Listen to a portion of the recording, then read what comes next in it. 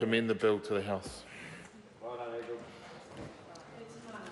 Ai ko hare te hipanga. Tēnā koe, ngā mihi ki a koutou uh, i tēnei i roto i te whare, i te ata nei, and my acknowledgement to all members in the House this afternoon. As I stand to speak in the um, position of as last speaker for the National Party, and in so doing, may I just first acknowledge all those who have worked conscientiously on this bill. Uh, the members of the Select Committee. I haven't had the uh, opportunity nor the advantage of sitting in on the Select Committee during the discussions that have occurred as a result. However, I have um, conscientiously read the bill, although not with a, a, a thorough scrutinised legal lens, and I have glanced over the debates that have been recorded in Hansard. I've also listened intently to the discussions and the debate in the House this afternoon. And, Mr Speaker, may I um, first and foremost say that National supports this bill. My colleagues have addressed the detail around what their concerns are and the suggestions or the proposals for amendments to this bill. And although they've not been heeded, it is noted on the record. In the committee stage of this debate, uh, as we are now in the third reading, there was considerable discussion around those concerns, and I will come back to that. However, from what was canvassed or discussed in opening debate this afternoon, Minister Jones uh, mentioned to the previous speaker in the chair that he doesn't always hear accurately the female voice. And although that may have been said in jest, he unconsciously also said in the next breath, making reference to, that this bill is about civil service leaders who are handsomely remunerated. So, as a female woman MP in the House, I just detected the unconscious bias that sometimes pervades the kōrero that comes through. And as a member of the fairer sex, this bill is about ensuring that there is a level of parity. So I just thought I'd mention that. Some of those subconscious biases that may be there. And some of that subconscious bias may also prevail in this legislation. Uh, my colleague across the House, uh, Paul Eagle, made reference to that this government is about sending the signal of integrity and accountability, full transparency and accountability.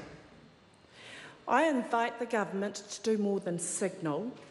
I invite the government to exemplify this. This is a bill that is attempting to exemplify, uh, ensuring that there is greater integrity and accountability in the management of state services by providing a strengthened and more consistent regulation of conduct and remuneration of employees at the most senior level. So I just gave those two examples where we have members of the government who subconsciously are expressing messages that are not consistent with what the broad policy statement of this bill is about integrity and accountability. Mr Speaker, let me now turn to the details and the provisions of this bill. As all previous speakers in the House before me have given an overview the overview that I uh, share with the House is that this bill is an omnibus bill. And at the committee stage, before the Select Committee and also in the House, amendments had been proposed and they have been factored into this.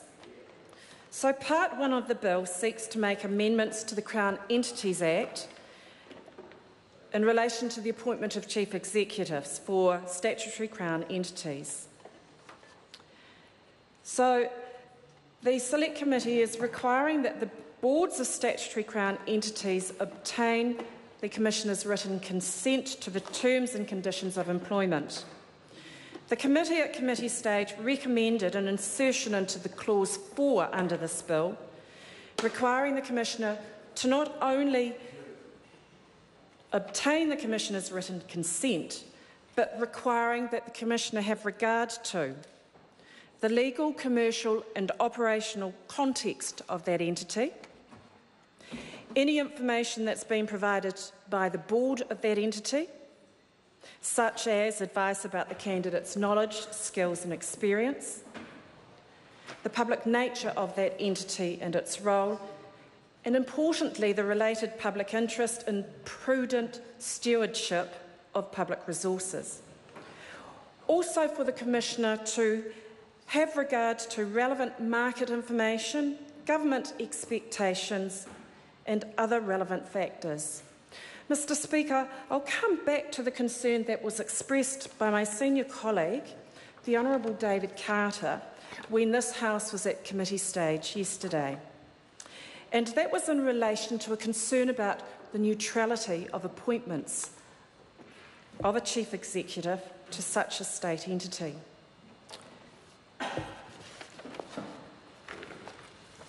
My colleague uh, referenced his concern around